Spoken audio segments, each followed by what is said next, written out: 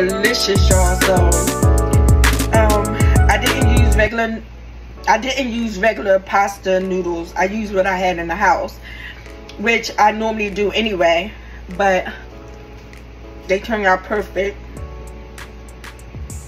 String beans are delicious. So, if you don't eat pork, put turkey in it. I eat pork, so alright. I'll see y'all on the next one.